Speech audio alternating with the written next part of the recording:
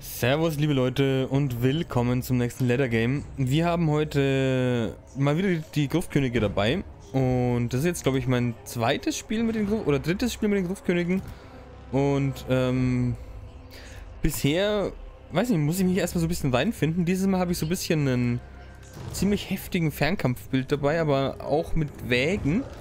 Ähm, bin mal gespannt, wie das jetzt lau laufen wird. Ähm, ja, mal gucken. Also die ähm, Frontlinie besteht ausschließlich aus Skelettkriegern. Also extrem billige und ziemlich schrottige Frontlinie, die, die auch verlieren wird. Dann haben wir noch Ar Arkan, den Schwarzen dabei, der diese Heil, den Heilzauber hat. Mit dem will ich so ein bisschen durch die Frontlinie durchchargen hin und her. Und von da aus dann auch immer so ein bisschen die ganzen Todesmagie-Zauber rausballern. Dann haben wir zwei Wägen dabei, mit denen will ich die ähm, Bögen der Waldelf, der Dunkelelfen platt machen, gegen die wir spielen. Und ich habe zwei von diesen Ushabti Bogenschützen hier dabei. Mit denen will ich seine Monster angreifen. Und ich habe eine Sphinx dabei, mit der ich seine Monster angreifen will, die bei meinen Ushabti Bögen landen. Deswegen gehe ich mit denen auch mal hier hin nochmal. ähm und dann habe ich noch die beiden Geier hier. Die Geier will ich dafür nutzen, um seine auch seine Bögen anzugreifen. Und yo, schauen wir mal, wie die ganze Chose jetzt hier laufen wird. Und ähm, mein Gegner ist Zensch, ähm, netter Kerl. Ähm, und ich würde sagen, wir legen los. Okay, er hat in der Frontlinie Kosan der Schwarzen Eiche, die uns ganz schön gefährlich werden können. Aber er hat auch viele Bogenschützen dabei und Hexenkriegerinnen und Schwarze Garde von Nagarond. Okay. Hexenreiter und ähm, solche Dudes hier. Und ich würde sagen, wir gehen mal ein Stückchen vor. Gehen wir mit den Geiern hier rüber. Vielleicht sieht er uns ja nicht. Aber er kommt jetzt auch nicht und ich... Ah ja, da sind... Da sind jetzt seine, seine Repetierbogenschützen, seine Repetier... Ähm... Reiter. Gegen die haben wir unsere Bögen dabei, da können wir uns schon mal ein bisschen ausrichten. Ähm, er will jetzt hier skirmischen, aber das wird er nicht so gut hinkriegen, hoffentlich. Einfach aus dem Grund, weil wir unsere Bögen dabei haben. Und zwar nicht zu knapp. Ähm, und ja, Bögen sind immer ähm, im Vorteil, wenn es darum geht, ähm, gegen Skirmish-Kavallerie zu kämpfen. Definitiv. Okay, er kommt jetzt vor. Ähm, wir richten mal zwei unserer Bogenschützen hier wieder aus. Hier richten wir die mal so aus. Unsere Geier kommen jetzt mal hier rein. Und ähm, die Ushabti, die können mal hier auf den auf die Kavallerie schießen, sowie auf die Bögen. Hier können wir raus... Nee, wir, wir bleiben einfach stehen, ist okay. Akan, der kann mal einen... Der kann die Kavallerie gleich mal platt machen, weil die Kavallerie, die nervt mich so ein bisschen. Dann machen wir gleich mal den Fate of Puna drauf. Ähm. So. Okay. Arkan. Hier vorhin mit unseren Ushabti auf seine Reiterei. Die jetzt auch schon ähm, in Raserei ist. Und hier kommen wir mal rum. Die Geier holen sich seine Bogenschützen. Unsere Wägen kommen jetzt trotzdem mal rum, auch wenn ich weiß, dass die, dass die Gefahr laufen könnten, hier ähm, ziemlich gefickt zu werden. Arkan geht jetzt mal weg. Äh, in die Sicherheit seiner Ushaktis hier runter. Ähm, unsere Bögen. Vorhin hier nochmal rein. Hier will ich mal weg. Arkan kann nochmal einen... Kann jetzt mal in die Frontlinie gehen und den ähm, Auftrag ausführen, den er ja hat. Und hier kommen wir mit unseren Bögen rein. Die Ushapis vorhin weiter auf Malekith. Die, die Sphinx hier, die holt sich auch Malekith. Und äh, die Wägen hier, die gehen mal hier rein. Arkan ist hoffentlich jetzt schon langsam hier in, im, mitten im Kampf drinnen. Kann auch nochmal ein Spirit Leech hier casten. Und fährt mal hier noch weiter durch. Oh nein, unsere Wägen sind hier ein bisschen festgehalten worden. Äh, warum sind die Ushabti eigentlich nicht am Schießen? Eigentlich sollten die auf Malekith feuern. Kriegshüter verfolgt ihn auch. Akan äh, holt sich so ein bisschen die Wägen, das ist cool. Die Wägen hier können weiterfahren. Und die anderen Wägen, die sind hier ein bisschen, die hängen hier gerade so ein bisschen fest, ist schlecht. Ähm. Nein, Akan steht bei den bei den Hexenkriegerinnen. Die will ich eigentlich, das will ich eigentlich gar nicht haben. Von jetzt müssen wir auch aufpassen mit Arkan. Weil, halt nee, weil wir wollen nicht, dass ähm, Arkan uns wegstirbt hier. Äh, deswegen fahren wir jetzt einfach mal, fahren wir ihm einfach mal ein bisschen davon. Unsere Wägen müssen wir weiter managen hier, weil die werden, die sind jetzt gerade über den Hexenkriegerinnen, verdammt. Es sind also gar keine Hexenkriegerinnen gewesen. Aber ist okay. Alles gut, alles gut. Ähm, seine Korsaren machen natürlich jetzt ein bisschen Ärger hier. Ähm, aber ich muss jetzt halt... Ziel muss es jetzt sein, seine, seine Schlüsseleinheiten auszuschalten.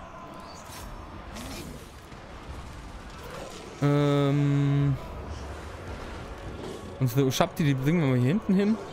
Und dann können wir mal einen kleinen Zauber hier auf seine Korsaren einfach machen. Ich denke mal, das sollte eine ganz gute Sache sein können wir hier mal reinchargen. Die Hydra, äh, die Sphinx geht mal zu Malekith hier hinter.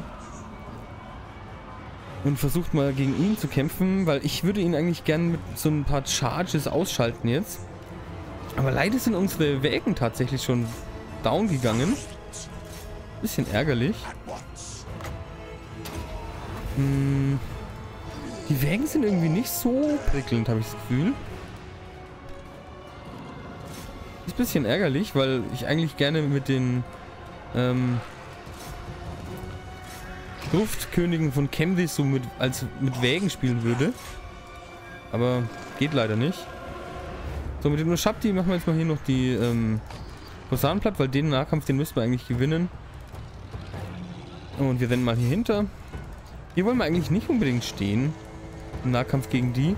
Und jetzt kann er halt mit seinen ähm, westlichen Pennern hier auf meine Sphinx feuern. Aber wir machen hier einfach ein paar Cycle Charges und hoffentlich kriegen wir Malekith auf die Weise irgendwie halbwegs fertig. Auch wenn da die schwarze Garde ist, mit denen müssen wir eigentlich trotzdem klarkommen. Und die Ushab, die feuern jetzt mal weiter auf, Mal auf Malekith. Die müssen wir jetzt mal raus. Arkan kommt hier wieder vor. Die Ushabtis, die nutzen wir jetzt einfach mal im Fernkampf. Und mit der Hydra hier, da machen wir einfach ein paar Cycle Charges. Hier feuern wir auf die Pferde. Arkan holt sich da nochmal welche. Ein paar ähm, Goodies. Die Hydra müssen, müssen wir nur aufpassen, dass die nicht bei den bei den Hexer, Hexenkriegerinnen bleibt, weil wenn die jetzt hier ähm, in Rage gerät, dann wäre es ein Problem für uns. Ähm, Malekith wird beschossen, das ist gut. Und Arkan geht nochmal hier rüber, der macht einfach ein bisschen Ärger. Kriegshydra ist entkommen, wunderbar. Sehr schön. Malekith wird weiter beschossen. Hier gehen wir mal ein Stückchen zurück, ziehen wir uns mal zurück. Arkan geht hier mal rein, macht einen... Oh nein, die Kriegshydra ist gecatcht worden. Ähm, jetzt bräuchten wir eigentlich noch so ein bisschen einen Zauber, mit dem wir die Kriegshydra beschützen können. Entweder ein Fade of Piuna oder ähm, irgendwas anderes. Ähm, nicht die Kriegshydra, ich rede da von der Kriegshydra. Ich meinte eigentlich die, ähm, die Kriegssphinx hier. Ähm, Fate of Luna wäre halt jetzt cool, aber der kostet, glaube ich, 18 Mana. Ich will aber auch da nicht reinchargen, auf gar keinen Fall. Ähm, ich würde sagen, die Kriegshüter, die haben wir gesehen. Das war's mit ihr. Leider, ah, sie ist rausgekommen, sehr schön. Jetzt, muss sie, jetzt müssen wir da auf jeden Fall entkommen. Und Arkan muss auch hier raus. Er darf auf keinen Fall gefangen werden. So, unsere Ushabti feuern hier mal rein und schützen Arkan. Ähm, die Ushabti sind eine ziemlich coole Einheit, finde ich. Ähm, unsere Bogenschützen feuern hier mal auf die Hexenkriegerinnen. Und, jo. Dann gucken wir mal, dass wir hier so ein bisschen wegkommen. Ähm... Mit unseren Bogenschützen feuern wir mal auf die ähm, Repetirampel hier hinten. Und hier rennen wir einfach ein Stückchen weg. Akan kann auch wegrennen. Ich glaube, Akan Ähm, heilt sich auch, wenn ich mich nicht täusche. Hat der Regeneration. Mal kurz schauen. Ich sehe jetzt nichts irgendwie. Egal. Hier rennen wir einfach noch ein Stückchen weg und schießen einfach und wir schießen und drehen uns und rennen weiter. Ungefähr so. Die Kriegsuser kann hier mal auf die Krieg auf die ähm, Hexenkriegerin äh, gehen. Und Arkan geht hier mal rum. Hier vorher mal auf die auf die ähm,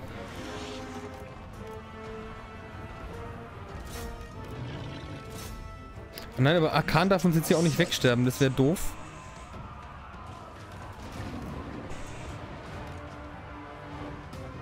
Wäre doof. Hier gehen wir noch weiter weg. Hier gehen wir mal so ein bisschen hier durch. Krieg, äh, die, die Necrosphinx geht mal auf die Bogenschützen hier hinten. Arkan muss hier ein bisschen die Pfeile dodgen. Wie viel Leben haben wir denn noch? 500. Ähm. Okay. Die Ushabti kämpfen mal gegen die Hexenkriegerin. Ich denke, da müssten sie eigentlich gewinnen. Und wir rennen hier weiter. Der Necrosphinx. Ja, die dürfen hier durch jetzt ähm, ein bisschen durchdrehen. Der Necrosphinx chargt hier mal durch die ähm, durch die Jungs hier durch. Ne, weiter weg. Weg. Wir hatten hier nicht genug ähm, Energie, um die platt zu machen nicht genug Geschwindigkeit. Und, ähm, wie sagt man, der Momentum, ähm, Trägheit. Hier feuern wir jetzt mit dem Ushapti auf die, auf die, ähm, Truppen hier hinten. Ähm, Archeon, Arkan holt sich mal die, die Repetierer hier. Wir müssen auf jeden Fall noch die Pfeile dodgen, wenn es geht. Kriegen wir das jetzt noch? Komm, ja, ich hätte gleich, gleich drauf chargen sollen. Wisst ihr was? Wir machen jetzt mal ein Spirit Leech auf die. Okay, und da, da sind sie weg. Und die Ushabti rennen hier weiter. Vor denen weg. Der Necrosphinx hat die jetzt mittlerweile geschettert. Jetzt kann sie da mal rein chargen. Ähm, Arkan kommt hier, kommt hier jetzt wieder her. Bisschen schneller als die ähm, schwarze Garde, deswegen, ich verstehe jetzt nur nicht, warum meine Ushabti hier nicht dahin rennen, wo ich es ihnen sage. Wo ist denn hier die Map-Grenze? Eigentlich müssten sie doch dahin rennen können. So, die Necrosphinx äh, rennt hier weiter. Einfach durch die Jungs durch. Arkan macht das gleiche, wobei Arkan jetzt... Ah, okay, ich glaube, der regeneriert sich doch nicht. Ne, wieder mal ein schlechter Charge. Wir feuern hier weiter. Die Necrosphinx kommt wieder. Hier rennen wir wieder weg. So, Arkan kommt wieder von hinten. Ah, die nächste Sphinx. Warum chargt die so schlecht? Ich glaube, das liegt daran, dass sie ähm, schon müde ist. Bisschen doof.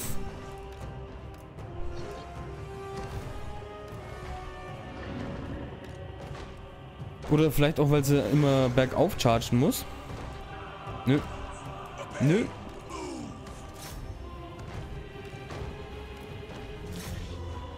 feuern wir mal mit den Oshapti weiter. Wir teilen uns jetzt hier mal auch auf. Ähm Wunderbar. Da hat die Necrosphinx noch ein paar gute Schläge reingeballert. Ach so, die Ushapti, deswegen machen die hier nicht das, was ich ihnen sag. Weil sie auf ähm, dem gottverdammten Plänkler-Modus sind. Das ist immer so voll ärgerlich. Okay, jetzt muss ich mit Arkan aber wirklich aufpassen. Noch eine, noch ein Charge und ich bin, ich bin Geschichte. Ähm, jetzt müssen wir wirklich aufpassen mit Arkan.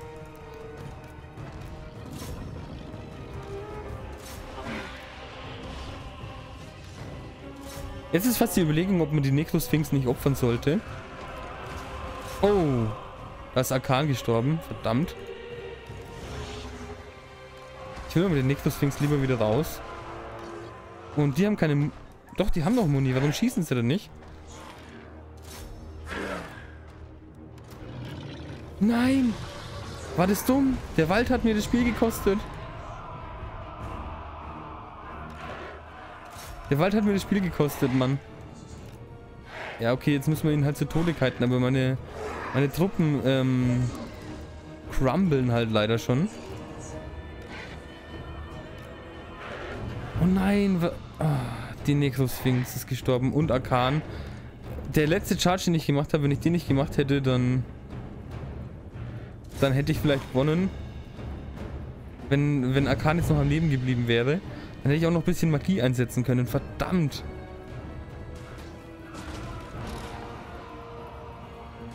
Weg. Hier, schieß mal. Oh nein, er hat einen von meinen Ushabtis getötet. Und das war's.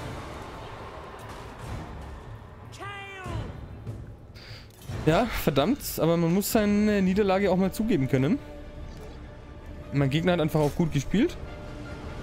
Und jo, so kann es nun mal gehen. Den Kampf werden wir auch wahrscheinlich verlieren.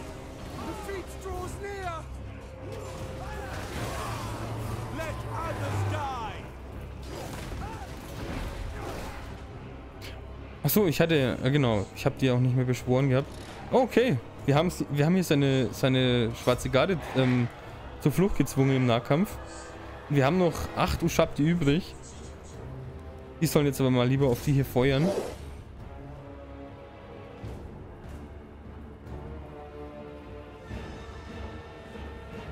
Wenn die hier wieder kommen, wäre es halt auch scheiße. Aber ich meine, jetzt ist es wichtiger, dass wir ähm, hier mal das Feuer auf die reinkriegen. Ähm, das ist jetzt wichtiger, als die hier zu verfolgen, auf jeden Fall.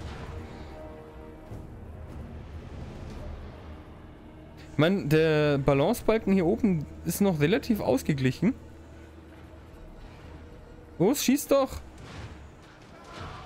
Jetzt sind sie am Chargen, jetzt müssen wir abhauen. Los, los, los.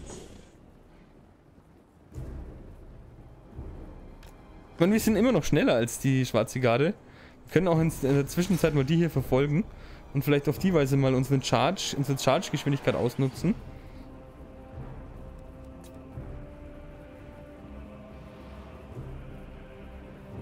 Aber ich werde ihm jetzt das Spiel auch nicht schenken, also das wäre ja auch doof. Wir werden jetzt hier noch niederchargen und wenn wir genug äh, Boden zwischen uns und den, der schwarzen Garde hier gebracht haben, dann feuern wir weiter. Weil, ich meine, er kommt dann halt auch immer näher an die Armeeverluste ran. Ähm...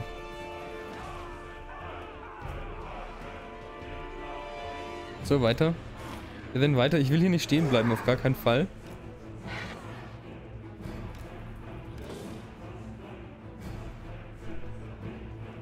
Feuer. Feuer jetzt. Geht's? Ne, die gehen in den Wald. Oh Mann, ey, was für ein Spiel. Ey, wenn ich jetzt noch Arkan hätte, der wäre schon längst weg, der Junge. So ein Müll. Aber es äh, ist auch so, dass wir jetzt, glaube ich, eher hier hingehen so an den Waldesrand hier, so an diese Spitze da. Ähm, weil von da aus ist es, glaube ich, gescheiter, äh, in den Wald rein zu feuern. Ich hoffe, dass jetzt nicht gleich ähm, versteckt ist. Ah, schön, er hat den Vorspulen-Knopf angenommen, das ist gut. Äh, jeder Pfeil, der trifft, ist okay. Wir haben noch jede Menge Munition. Ist kein Problem.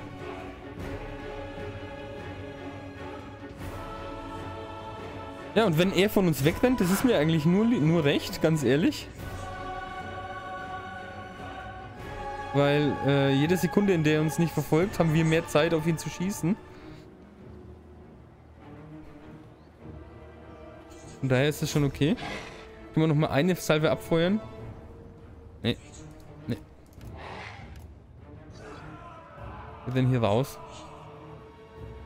Die hier sind wieder zurückgekehrt, die müssen wir jetzt mal chargen. Dass wir schneller werden einfach. Wir schneller vor ihm wegkommen. Weiter laufen, weiter rennen. Weiter rennen, weiter rennen, weiter rennen. Oh, wir sind so schnell. Das ist unglaublich. Und ich meine, äh, beide unsere Einheiten sind halt schon völlig erschöpft. Und wir sind sogar entkräftet. Weiß ja nicht, was da besser ist. So, dreht euch um und Feuer. Alter, ist das ein Match, Alter. Das ist ja Wahnsinn. So, das müsste jetzt aber langsam gewesen sein. Noch eine Salve kommen.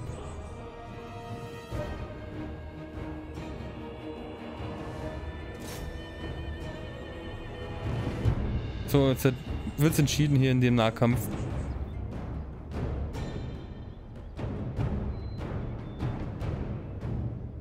Der Nahkampf entscheidet jetzt das Spiel.